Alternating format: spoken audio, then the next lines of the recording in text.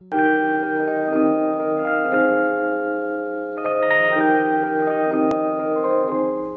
friends welcome back to my YouTube channel get drink with Ekta Singh आज मैं आपको सिर्फ़ दो इंग्रेडिएंट से बहुत ही टेस्टी और यमी चिकन बनाना सिखाऊँगी।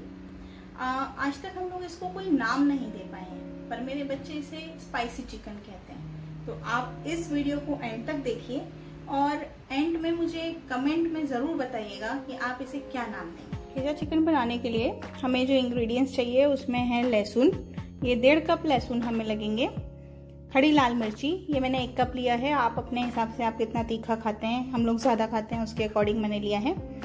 सौंफ, जीरा तड़का लगाने के लिए।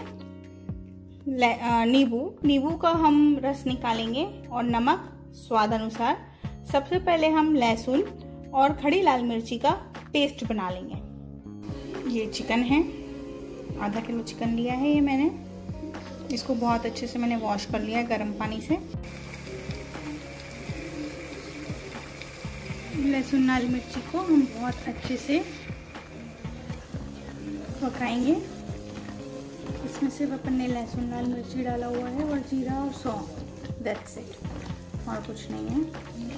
जो हम लहसुन लाल मिर्ची की चटनी बनाते हैं, उसी को हम बहुत अच्छे से तेल में भूंज रहे हैं।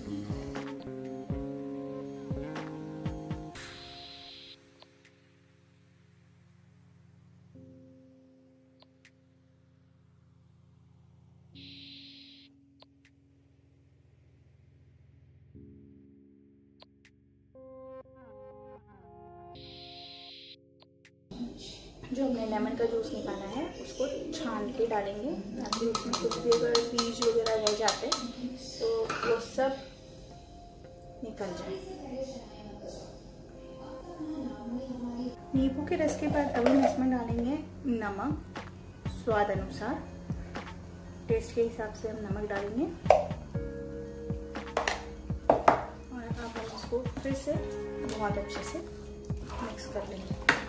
चिकन अपना पानी खुद छोड़ता है, इसीलिए अब हम इसको पकने के लिए रखेंगे, ढक देंगे अब हम, इसको अच्छे से मिक्स करने के बाद।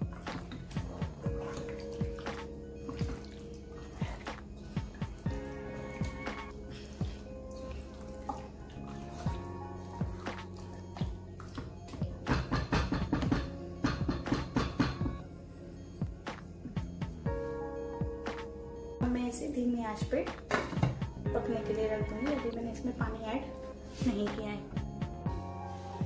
जैसे कि अब हम देखेंगे चिकन ने काफ़ी पानी छोड़ दिया है और चिकन पकना भी स्टार्ट हो गया है।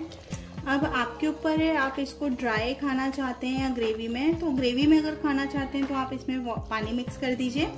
और अगर ड्राई खाना पसंद करते हैं तो ये पानी पूरा सुखा दीजिए और आपका चिकन रेडी अब ये हमारा चिकन रेडी है। मैंने इसमें हल्की सी ग्रेवी रखी है।